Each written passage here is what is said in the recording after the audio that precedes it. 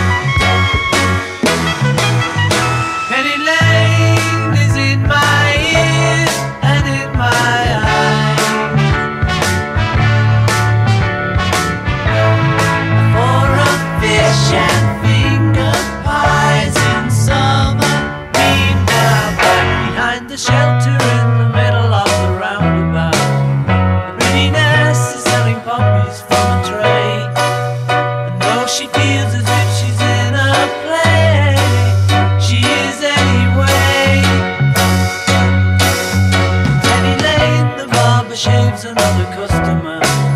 We see the banker sitting waiting for a trim.